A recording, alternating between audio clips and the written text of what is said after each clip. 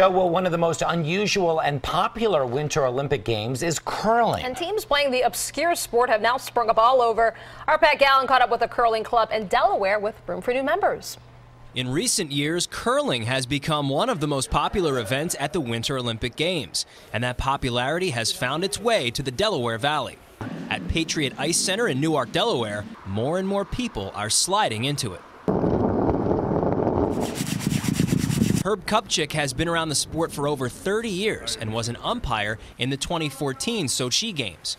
He loves to see this sport grow. We have been totally on a rise. Um, I'm a national official as well, so I've seen that we, you know, our the number of clubs across the country have in, has increased. I think there is something like uh, every state except maybe two have a curling club now. The enthusiasm for a sport well known in the North is apparent here.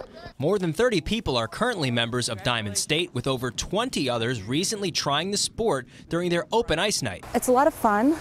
Um, I think all the yelling helps get out a lot of energy. yes, now, yes, yes, yes.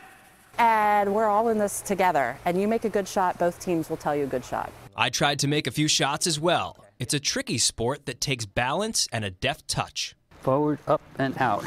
Right? Drag that back foot.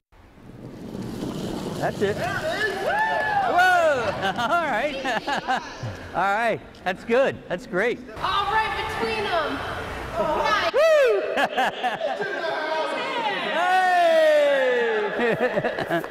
Looks like I've got a shot at the 2022 games if I keep practicing. Nice, nice. I like the weight.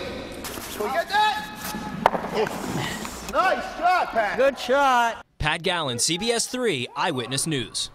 Olympian Pat Gallen has a nice ring to it. Yeah. We'll see.